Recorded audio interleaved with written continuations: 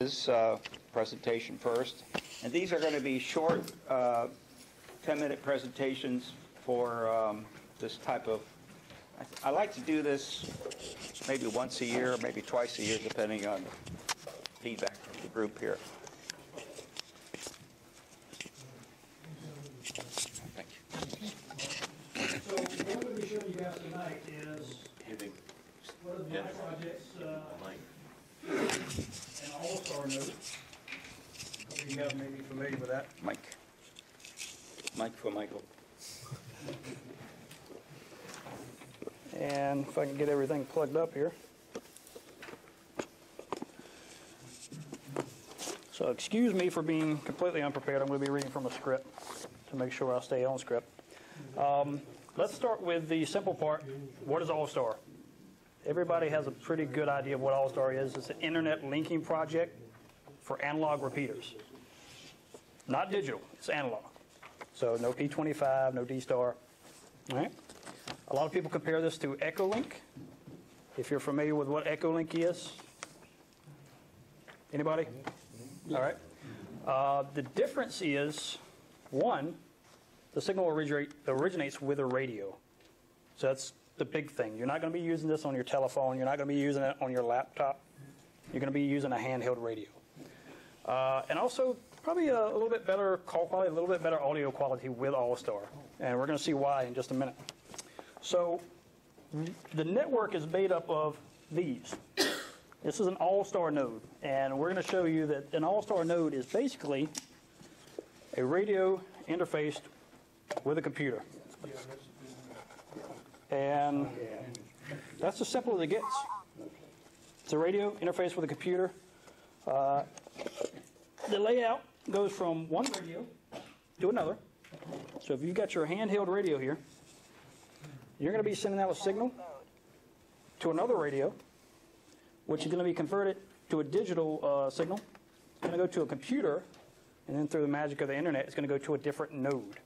Every node is assigned a number, and that's how you communicate. So you'll notice this is all done with uh, DTMF codes. I don't know if we can hear this. We'll try it. K N four B F E. That's as simple as it is. It's all plugged in. All of it hits a Wi-Fi signal on my phone. So you could use this in a mobile capacity. A lot of people put them in their cars. A lot of people use it for their home Wi-Fi. Um, you can really use it just about anywhere you've got a plug, or you could go, you know, you could go and put it on a uh, mobile battery pack. The Raspberry Pi in here, the computer part of it, actually uses about five volts. So just about any battery you can think of will run it. Um, we want to focus on that computer because that's an integral part of it. That's the little box we saw in there. That computer is running a software originally designed for PBX, uh, phone exchange, which is why we get better audio quality with that than Echolink. Shortly after that was designed, uh, 99 I think it was, there was an upgrade to it, to a software that became what's uh, currently being used called Asterisk and that kind of enhanced the capabilities of the software and really uh, kind of brought it into the modern age. Then a couple guys actually wrote the third level software, the top level software, EPP, RPT.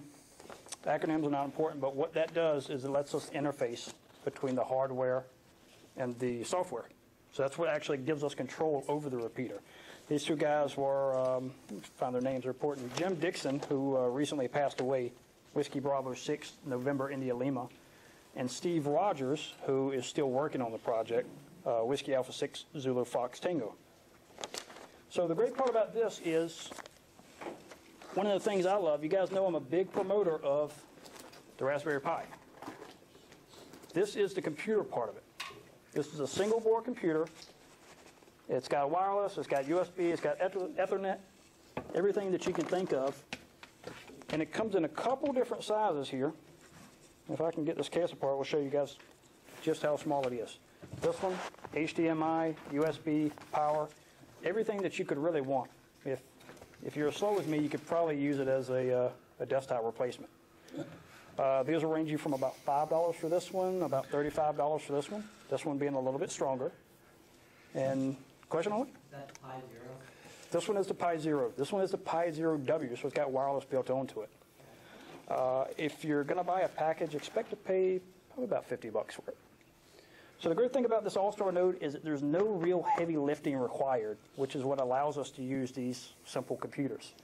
This whole box right here has got less than $100 in it, and I can communicate with anywhere there's a node. That could be in Hong Kong or during the hurricanes in North Carolina.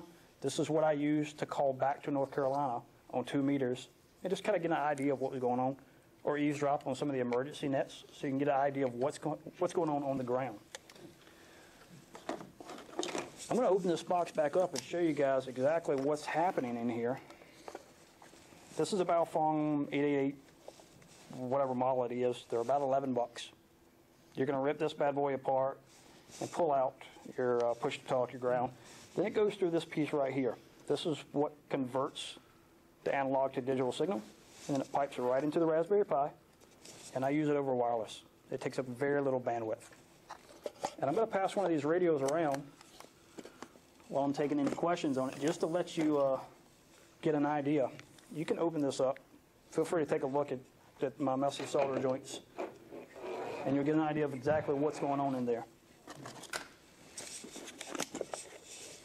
You could have this entire box made a lot cheaper if you forego this piece right here. This is a custom-made piece of hardware. It's called a URI. Some of you may have heard about that. Uh, it basically it acts as a sound card. And you can do that with these little guys right here. These are about $2 a piece. You have to have an extremely steady hand to get in there and solder. I think it's uh, three solder joints you have to have on this chip right here.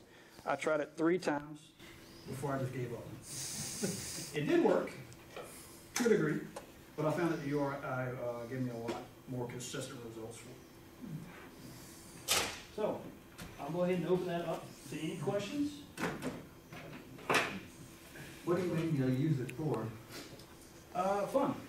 It's, it's, it's gotta be a repeater that works.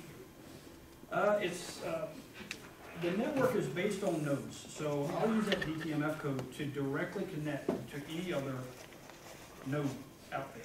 This So- is, this is D-Star only then? No DStar. This is all analog. It's- It works on a uh, voice over IP. So it was originally designed for telephones. They're using this with internet backbone?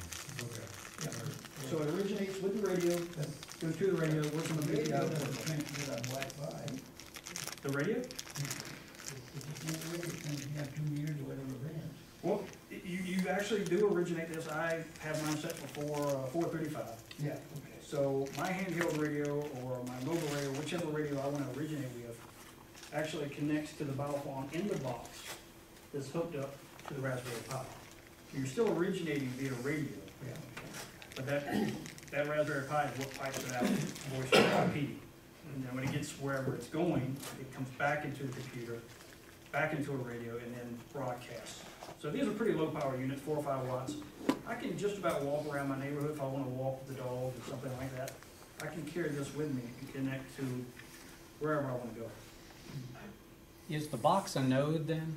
The box is a node. Uh, We define the node as any kind of uh, amalgamation, because there's a lot of different uh, ways out there. But basically, anytime you're putting a radio and interfacing that with the computer, running that asterisk software, you are a node. So how many nodes are there out there and how do you know uh, who do you, who to talk to? I guess? How many nodes are there out there? I have no idea. Thousands, thousands. Uh, Anybody can do that, so uh, I- would say tens of thousands probably. Go on the uh, website, Allstar Link, I think it's allstarlink.org. Allstarlink.org will give you an entire list of nodes, who's online, and give you kind of a brief description of what that is. Um, So if you look at, if you find one that says an anti-antenna HOA is the location, that's me. Uh, You can also look by a node number. So I am four six eight five five, and everybody's got that, that personalized number, and that's the code that you'll punch in. So I'll connect in a, uh, a star three to connect, and then followed by the node number.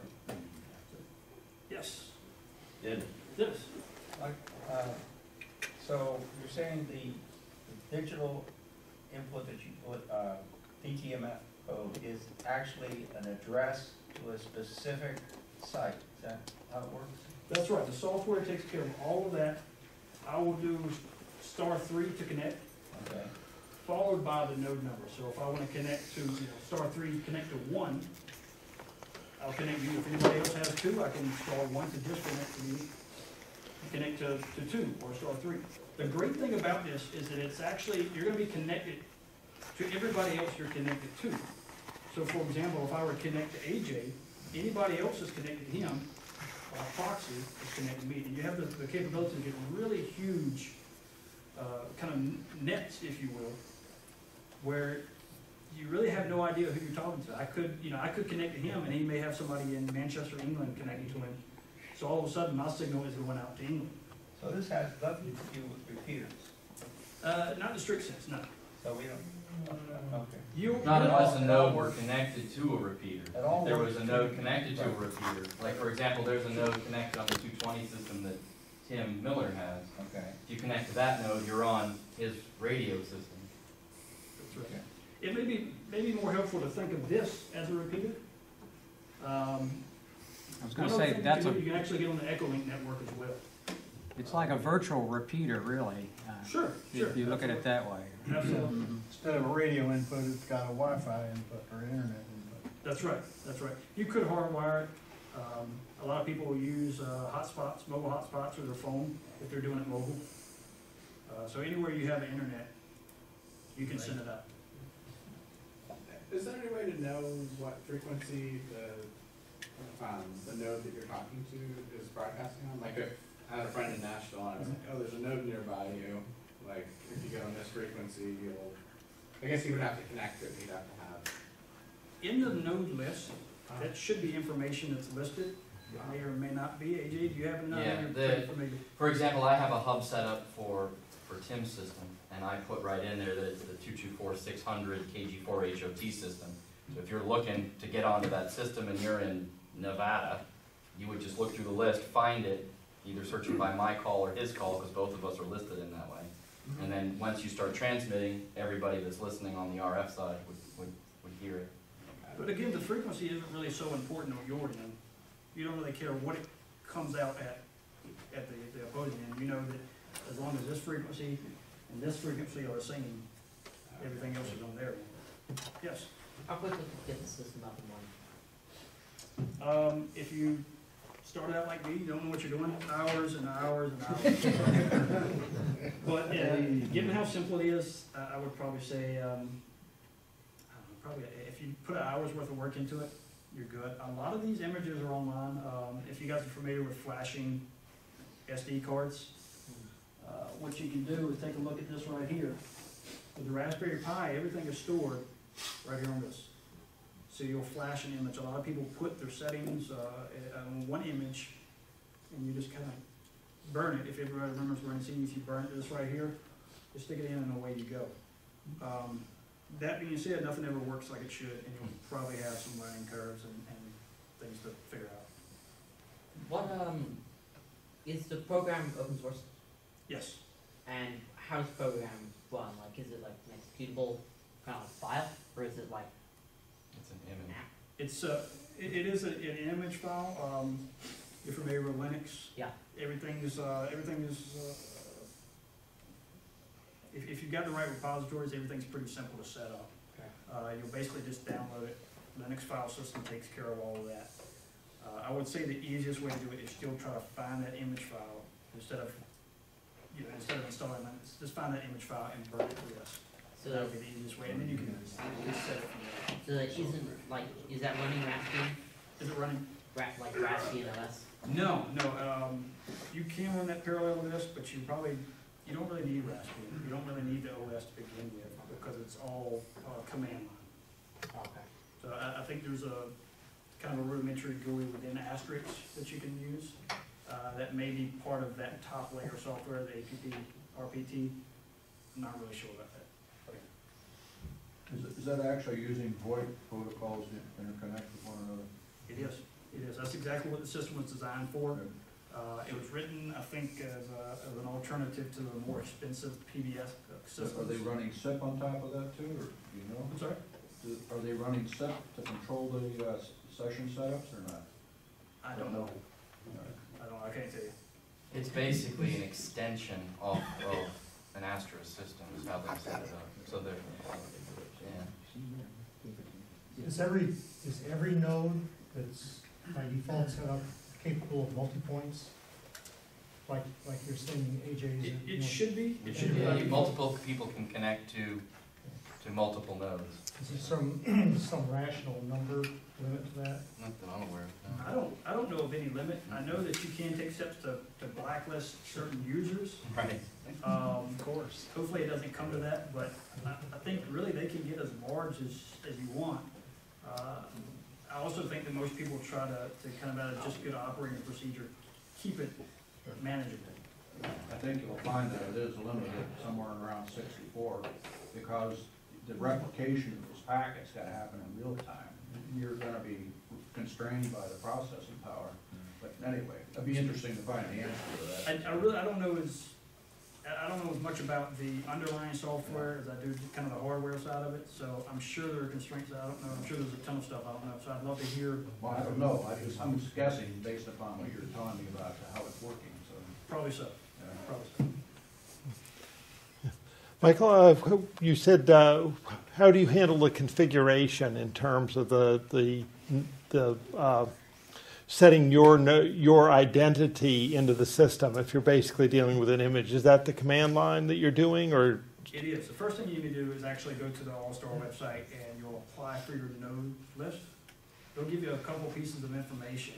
Uh, when you set up that image file, if you do it via the image, there's gonna be a very simple program, a simple configuration where you'll set voice levels, uh, you'll set your node number, your connection, and, and that's kind of the tweaking that you'll need to do to get it working right. Um, You may even find, depending on the radio that you use, you may even find playing around with resistor values kind of helps you out, so you may want a little bit of background with soldering too. Anything else? There is, just so you know, there's another guy out there, US Ham, ushamnet.org, or usham.org, I think is his website. He's actually working on a wireless node now, so that all you have to do is give it, tether it off your phone, Yep. and give it a microphone, and you're on the system. That's pretty awesome. Yeah, This- saves all the hassle that you had to go through on the soldering. Yeah, well, really the great thing about this is, is you will hear me push these. I'm a huge proponent for these Raspberry Pis. They're dirt cheap, they're a lot of fun to play with. And this is kind of what, what you out your sky's the limit point. These GPIO pins, you can do just about anything with them. Once you bring that all to board, sensors, computers, also I know sky's the limit. So I, I definitely want to push these again. Any other questions?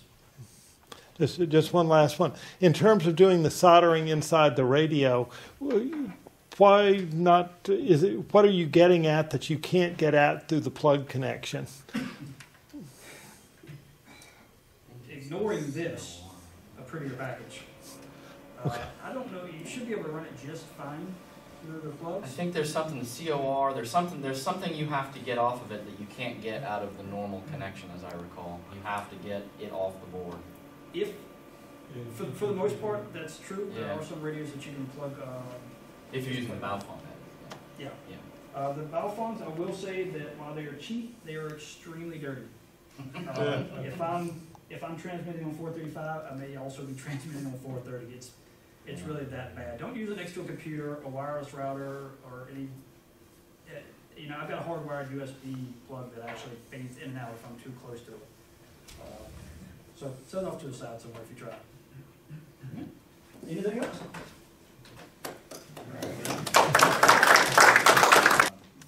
Paul Myra, and uh, we do this, we've been doing this, I think, over ten years now. Uh, They have all these demonstrations, uh, about three hundred uh, kids come out, they camp out there overnight for the weekend, and uh, they have demonstrations that they have to go get their uh, card signed, and our particular one, they have to, we make them spell their name in Morse code, only because I like Morse code. Also because the kids find it uh, pretty amusing. So what we do is, uh, we had uh, Ed Ed and myself, and then um, uh, Mike, uh, Scoutmaster, Mike, what's his last name? He does our uh, field day. Bob Bob Romanko. Bob, I'm sorry, Bob, Bob, Bob Romanko was out there in his scout uniform. He helped me get an antenna up in the tree. He's good at that. So, uh, for this demonstration, we, uh, we brought out, I brought out my, uh, uh, Ten-Tec rig, and we set up, you see, you see the, uh, solar power panel? So we got the solar panel charging the battery on the ground, and, um, and then the battery powers the radio. And, uh, we showed the kids how, uh, solar, you can be off the grid and operate, uh, basically without any, uh, power. Long as you have sun, the battery takes over when you don't have sun.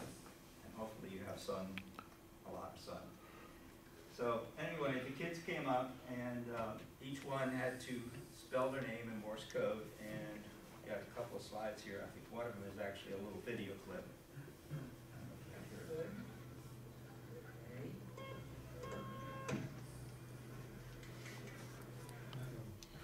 Okay, that's very, very short and sweet. But uh, we also, uh, I had the radio, uh, you can see all the different Cub Scouts. We had hundred and fifty-one kids participate. Because I, the reason I know that is they had to spell their, write out their name first and then do it in Morse code. So I kept, we had a sheet with, uh, all the kids that signed up. And you can see the various, uh, troops there. But the radio was, um, was basically just to demonstrate ham radio. So before the group got started, we did a little, orientation and turned the, uh, turned the radio to a, to a frequency Morse code or sideband, whatever was coming in. And we had a multi-band antenna strung up in the tree, par end fed, that works on 10, 20, and 40. And 20 meters happened to be open that day and happened to be the Pennsylvania QSO party, so a lot of Morse code coming in. So we showed them how to, you know, I was copying some of the Morse code and I wrote it down, what was, was coming through. So basically, each group came by, came through and it took about ten to fifteen minutes for each group, and we were out there about four hours. So anybody like, like to participate in this, uh, next year, you don't have to know Morse code, trust me. Just be there to answer questions. We had some, uh, hand, handouts for the kids that, uh, Ed had brought back from the uh, ARRL that explains what Morse, uh, not Morse code, but it, uh, what ham radio is about and how to contact, uh, anybody for help. So hopefully maybe we'll get a few recruits out of this, uh, demonstration every year. What's the next time, what's the, when, when will they have it again? October. October. And it's, it's unfortunate that it's not time with the JOTA Ja- Jamboree on the air, that's the following weekend. Somebody, I don't know if it was somebody from this club, but Ed was in correspondence with them, actually had the kids come over to their house, and during that JOTA weekend, brought a, the- I guess it was a uh, Cub Scout in. But generally, I, I think this is a better venue to do that when they're out camping, and lots of kids can participate, and you can put up antennas and show them how you can operate off of batteries or solar power and things like, that. sort of like field day. Okay. In fact, we should, actually, we should contact the uh, scouts for field day and tell them to come on over, and they can operate on the photo station. Any questions about what we did? What was the date? October, um, uh, actually, let me see, might be in my, Thirteen. see it on there? Yep, October thirteenth, but that's, that was this year, Mm. so I don't, next year, but it's always, I think, it's the second, second or third weekend, whatever the thirteenth is. All right, so tonight, um, I told, told you all we're gonna do a hands-on demonstration of, uh, not demonstration, but you guys are gonna work. Did, did everybody bring, and let me see a show of hands of folks that brought their charging cables. Okay, good. Let me see, uh, show of hands, anybody that brought batteries with them to test. Oh, man, I got, we have more batteries I to got, test. I got, I got one. three. All right, so basically, um, these are tools that are good for not only hams, but also for, uh, folks using their homes and, uh, to, uh, test their, their different cables. And the reason I, uh, did this is because I was having trouble with my cell phone batteries years ago when I, I had an old Note three or something. and uh, it wasn't charging right. So that's how I kind of discovered this, uh, this little device that can tell you the amperage that it's drawing and the voltage. Does anybody have one of these? I I would, should have known, Dennis. You have one too? Okay, only two people? Okay, so you know about that. So anyway, uh, this actually tells you what the battery or what your cell phone battery is drawing in so far as amperage. It also tells you, and this was the, this was the, the, uh, the eye During- opener. during All charge? these cables are not the same. They charge at different rates. All right, so you'll see charging cables on there for, you know, ten for a dollar or something. Or you see them in drugstores, you know, check out the counter, and they'll have these charging cables, stuff like this. Very, very poor, made, poorly made cables, and the reason I know this is because I had them, and that was the reason my cell phone wasn't being charged properly. So, um, that's why I wanted you all to bring your charging cables to see, uh, how this, these things work on your cell phones. Um, the other test we, I wanna pass around is, uh, is a battery tester. Does anybody have one of these? Do You do have one? Somebody shake their head? Yeah, I think so. You have one? I have a battery tester, I don't Not this one. Same, I don't know if it's the same as yours. Okay, good, because, uh, I, I was hoping to bring something here that a few folks will know about. I started with this one, okay, this is a smaller version of this company's, uh, battery tester. And this is good for, uh, most of the common batteries. This baby is, uh, of course, more money, but it tests the coin cell batteries, um, and it does it very well. Um, so, some, one of the practical applications here is, I had, uh, some, uh, uh, lithium batteries, and, uh, I tested them on this, and for some reason, they came out with sixty percent. So, I, uh, I had some other lithium batteries that were date coded twenty twenty-two. The new ones were dated twenty thirty-two. The ones were dated 20, 20, uh, just a couple of years from now, tested hundred percent. I said, something's screwed up here, right? So I wrote to Eveready, and, uh, oh, so I'm looking at the batteries, you know, the fine print you see on the batteries? The ones that were sixty percent rated were made in Singapore.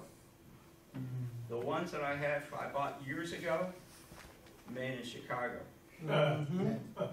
So I, in an email, I sent this to Eveready or wherever that cor- corporate company is.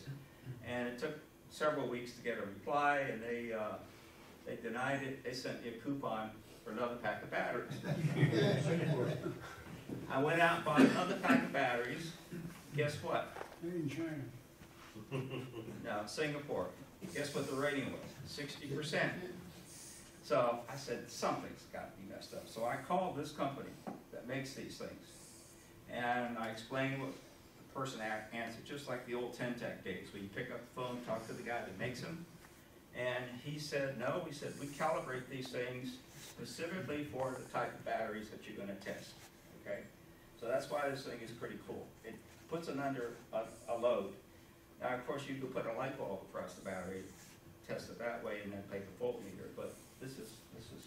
What, co- what company is that, Kevin? It's what? What company made that? Oh, it's, um, let me go to the screen here. Um, okay, it's ZTS, they're on the website, and the- these are their products. So this is the one I have, I have this one and the small one. And, um, and they've actually got, uh, uh, a, a sheet, it's very simple to operate. You just take your battery, test it like this, so I'm gonna pass this around here. While I'm doing that, I'm going to show a few videos of, uh, of these instruments and where to buy them and stuff like this. All right, so I brought, I brought three, um, three batteries that this the USB thing could work on. And, um, they're all rated at two amps or, or more, so most cell phones are not gonna give more than two amps. So, the idea here, here is if you have your cable with you and you have a cell phone that's relatively new, it should be pulling about two amps, maybe a little bit less. If it's like 0.9, you know, not even one amp, then that cable is suspect because all three of these batteries are capable of doing two amps, okay? So that's the first thing. The other thing is you have these wall chargers that you plug in, right? Mm-hmm. That's how you charge your phones. That's another reason to use these testers, is your wall charger, piece of junk, all right? That's the other culprit. So folks that, you know, say, "Oh, I'm gonna get a new cell phone, it's, it's dying, whatever, it could all be as simple as a battery or your, your cell phone charger that you plug into the wall or your cable. All right, so I wanna go ahead and pass these around. Who- All right, As you so can that's see, the the voltage that's going to the cell phone is four point seven nine volt. And the current draw from the charger to the phone is zero point five five amp, which is same as five hundred and fifty milliamp. Now, if you press the button that's at the top right-hand corner right here, you toggle to different measurements. So this first one we're looking at is a voltage and amp. Press it once, it'll give you a capacitance measurement. Press it again, it'll give you the power measurement. Now, the power measurement is simply the voltage times amp to give you two point six four watts. So these first three readings are the main measurement this device can take. Now, if you press the button several more times, it'll give you four additional options. But those four additional options, what they do is they'll allow you to toggle and automatically switch between one display to another. So let me go ahead and press the button once more. All right, Now so it shows you the, uh, C for capacitance. And in this display, it'll toggle back and forth between the voltage amp and the capacitance reading. All right, here's another cool thing I bought. Because my wife doesn't know about all these things. But you gotta, you gotta have one of these. Um, So this device, this device puts a load that you can measure exactly on your battery. So you, I know it looks like I built it, I did not build it. It's got a little knob on it, and you, you turn it, you first you put it into the, that uh, measuring device, you plug that into here. Then, um, you, you, uh, you turn up the amperage. So let's say your battery is supposed to be rated at two amps, okay? Just twist this a little, until, until that meter I, I'm passing around reads two amps. If it, if it won't go up to two amps, then your battery is, is defective, okay? The other thing you can use it for is with, with your chargers that plug in, that you plug your charger cables into. This is made by Anker, and it's rated at two amps, and believe me, it puts out two amps. Okay, you can go to the drugstore or Walmart and buy these chargers for five bucks. Mm-mm, ain't gonna work. So that's what I use this for. And this thing is eight ninety-nine. How can you hate it? I sound like one of those commercials late at night, but. Well, wait, uh, there's more. All right, the whole, how we relate this back to ham radio is resistance in cables makes a big deal. It also makes a big deal in your RF cables going out to your antenna. Let's say you just spent twenty-five thousand dollars on a nice tower. But your, your wife, your wife does not want the tower anywhere near the house, all right? So you put that tower, you put that tower way down toward the end of your lot, let's say five hundred feet. You're gonna run cable out there, and you're gonna put this big antenna that's great for reception.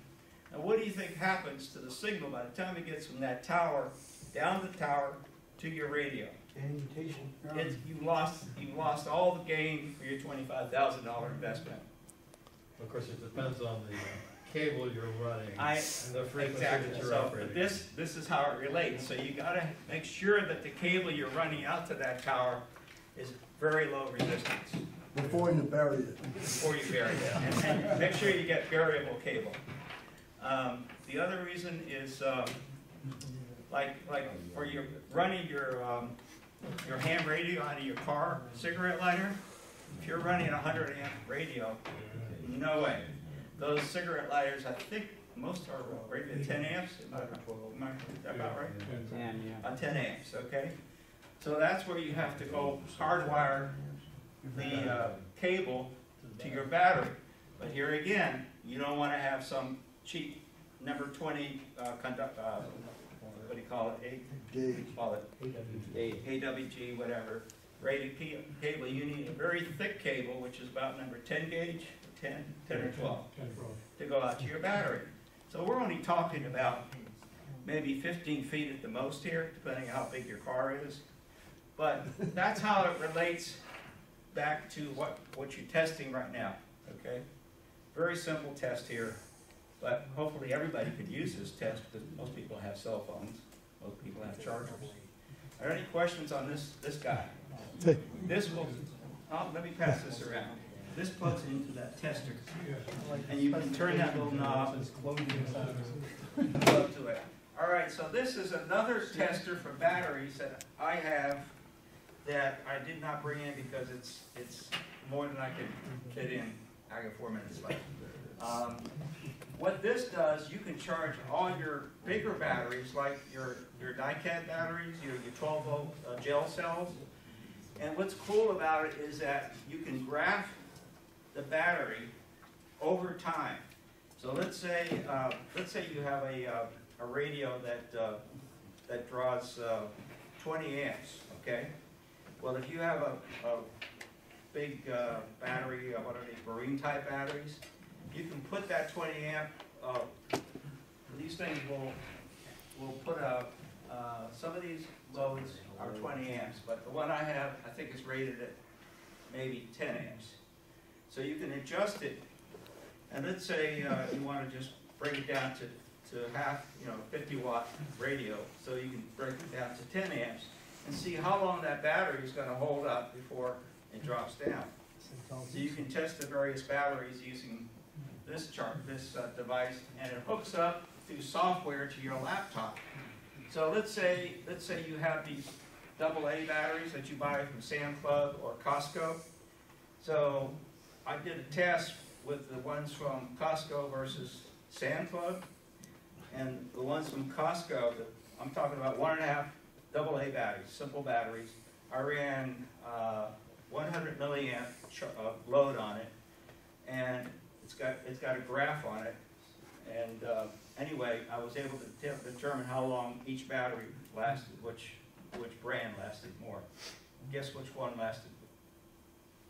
How many think Costco? How many think uh, Sam Club? It was Costco. Costco batteries are rated better than the Eveready or the Duracell or the Sam Club or any of those other batteries. All right, so that's a cool thing. All right? Another thing my wife doesn't know I have, yes. Um, it says solar panel testing in the description of that. Have you tried testing solar panels with? Oh, yeah, yeah. So you, uh, you can test the output of the solar panel to your battery. And those are different devices that they actually, ham radio operators use in the field, especially guys that do QRP work. Uh, this device is sort of like that little tester that I'm passing around, only it's more sophisticated and it will memorize the total amperage as you operate it. So let's say uh, you're out for field day and you've got a battery, this device will, uh, will memorize how long you've had it and then, and then load it. My, my little QRP radio, the KX2, actually has the amperage meter. As long as the battery is connected to it, it will, it will keep that in the memory so you know how much your capacity you've used out of that battery. I know this is all trivial stuff, some of you, uh, but I thought, you know, many, ma- many of you folks may not have seen these, these gadgets, and, uh, that's why I wanted to present it. Yes, sir. Totally new to all of this, so I appreciate everything that you're saying. Okay, great, hope you learned something. Don't, don't forget about the one for your car charger. Yeah. And I would advise getting, expensive is not the most, uh, uh, necessarily the best. Um, let me show you a little thing that I use here for, What, what's that, before you get rid of that one, what, what's that one worth, uh, the CBA four there? oh, The Silverado is for the. they're, they're, uh, they're over a hundred dollars, about a hundred and fifty dollars. Okay. They come with software, and it's upgradable software, so as they come out with new things. But you can test a whole range of batteries with that thing, yes. So would that be uh, available to test your handheld batteries Uh, for, for the HTs? Oh, your H, your HTs, yeah, you could do that. You'd have to probably figure out uh, alligator clips or something to hook up to your HT battery. Yes, you could do that, sure, because those are most of those are lithium batteries. Um, So up here, at this Amazon site, you see this, this says Fakespot grade? Couple points, that voltmeter thing you passed around, Yeah. I have something very similar, but it will also keep track of the amp hours used. Yes. And I found all USB cables are not created equal, they Right. get good ones and bad ones. And a lot of phones now have their own, like, smart power fast charger, like some of the Apples. Yes. And it'll charge it really rapidly and it'll keep track, but if you plug it into a regular charger, it'll, it'll Right, that's, that's a good, that's a good point. The- The charger that comes with your phone is, is probably the best one to use. Although Anker claims that, uh, and actually the Anker products are pretty good too. Uh, the claims that they you put out, but, uh, I always like to test things, and so that's why I got these gadgets. Yeah, but I think the phone knows its own charger because I've got a Motorola and Marcia's got a Nexus, and they're both smart chargers. Right. And if I try to use my charger on her phone and vice versa, it won't recognize it. So it's gotta have some way that it It- it's- recognizes the unique charger. Um, I don't know how that's possible. But you, you- but you have the tester, and the tester's showing that it's, it's pulling, putting out two amps or whatever? So, It- It's not? no, it de- it defaults to a slow rate.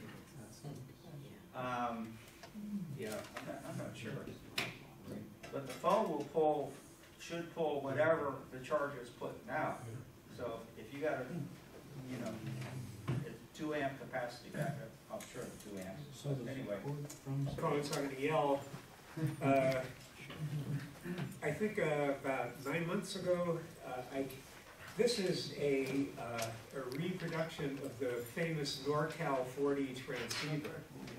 The NorCal 40 was developed in about uh, mid 90s hmm.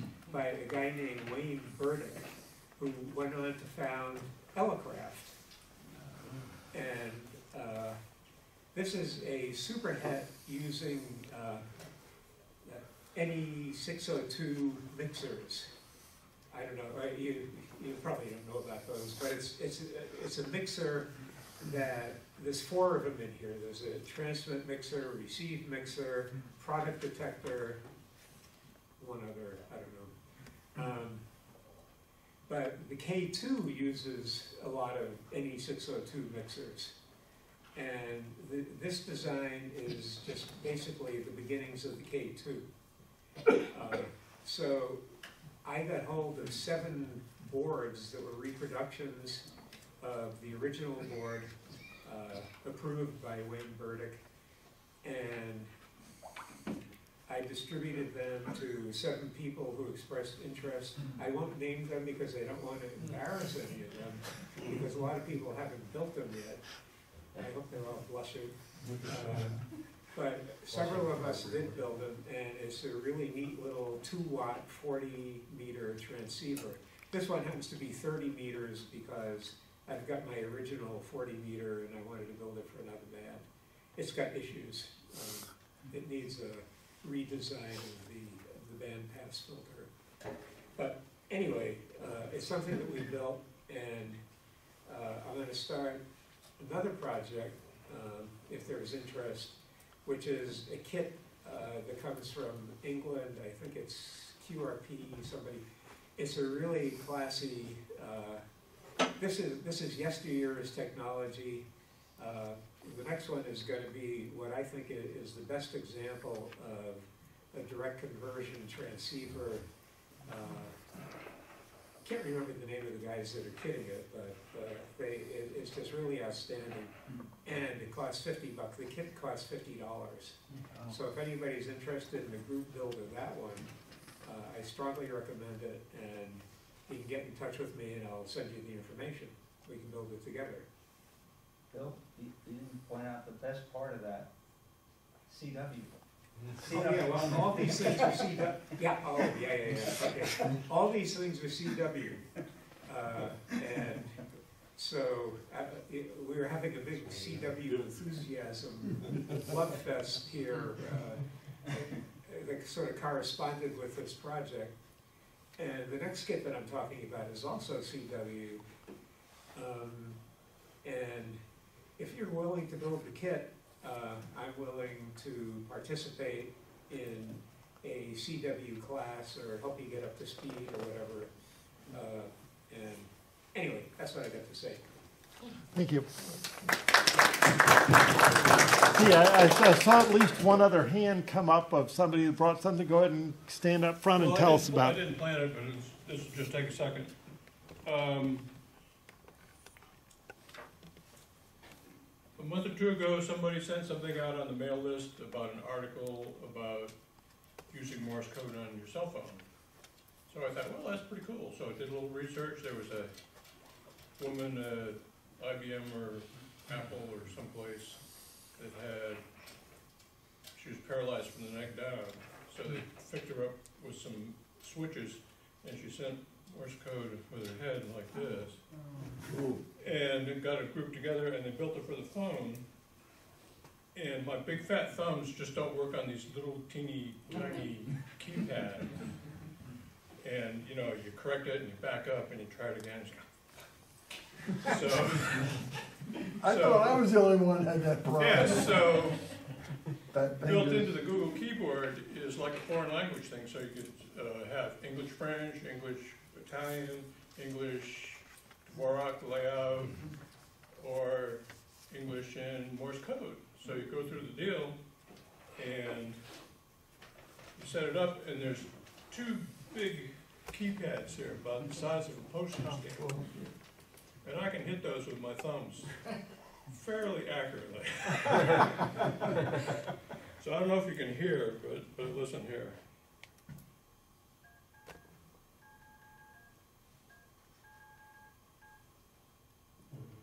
Okay? Cool. You know, it just, Music by ears. my thumbs never, never left my hand. Try it out. Any anybody else? What's there? What is it called? Was it Google, it's Google key, keyboard? Um, I sent out something to the mail list a month or two ago, I'll see if I still find it and, and resend it. But you, um, Apple's, Apple's got it, and most of the Android phones have it. So, uh, it's really easy to set up. Yeah, The, the link to that is in the dots and dashes. say again? The link to the story is in the dots and dashes, it's Oh, okay, Jim, good. page eight. Yeah, so it saved me, so I can actually now, you know, use my phone for texting. Not fast, but. okay. And any others?